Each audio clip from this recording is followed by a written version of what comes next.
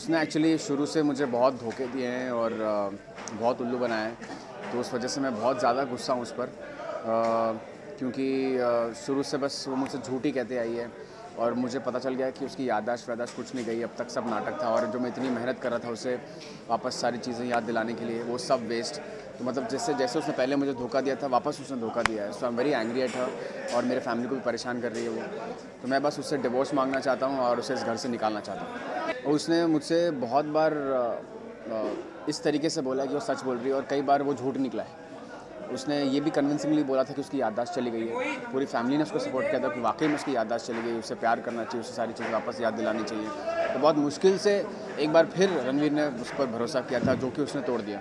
तो इस बार ही has no reasons to actually you know think कि why she you know saying lies the truth Ranveer बहुत actually बहुत इनोसेंट लवर है। वो विदाउट एनी कंडीशंस ईशानी को प्यार करता है और वो चाहता है एक सिंपल लव स्टोरी हो ईशानी के साथ उसकी।